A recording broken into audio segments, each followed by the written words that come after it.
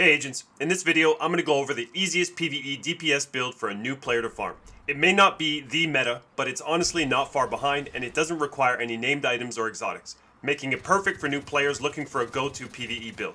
I tried to put this into a one minute video, but I didn't feel that I could fully explain the build in 60 seconds. We'll make it quick anyways. So here's the build. All you need is 3 Providence, 1 Fenris, 1 Grupo, and 1 Ceska. It doesn't matter which brand set is on which piece of gear, all that matters is you have the appropriate brand set somewhere on your build. For attributes, you want crit damage rolled onto every piece, and crit chance at 60%. Remember, there is a hard cap of 60% on crit chance. You cannot in any way get more than 60% crit chance, aside from certain talents that give you a guaranteed crit on your next bullet.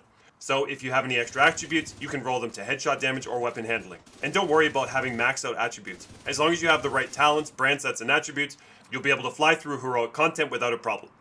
As for talents, we're running Unbreakable on the chest because for new players, this talent is great. If you make a mistake, no problem, you get an extra life every 60 seconds. And if you mess up again before it comes off cooldown, we've got a Reviver Hive to pick you right back up. Your other skill can be whatever you want, I personally prefer the Decoy or Riot Foam, or Jammer Pulse for when I'm against Black Tusk.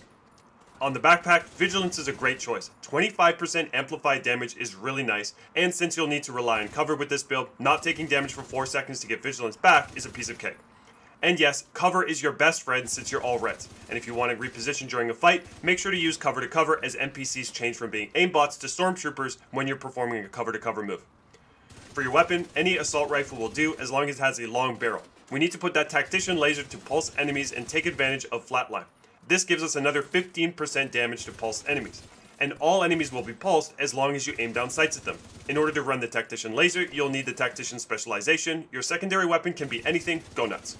So how do we farm this build? Right now, the best place to farm loot is Countdown. You get tons of loot, and you can choose your target loot.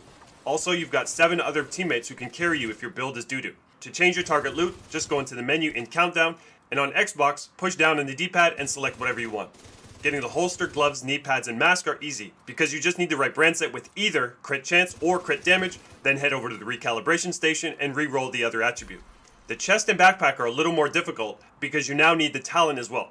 So for those two pieces, if one of your attributes are not crit, don't worry too much about it. As long as you've got the talent on the right brand set, you're good to go.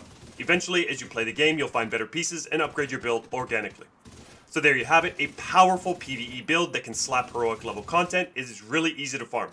If I missed anything or if you have any questions, leave a message in the comment section below. Until next time, happy farming agents.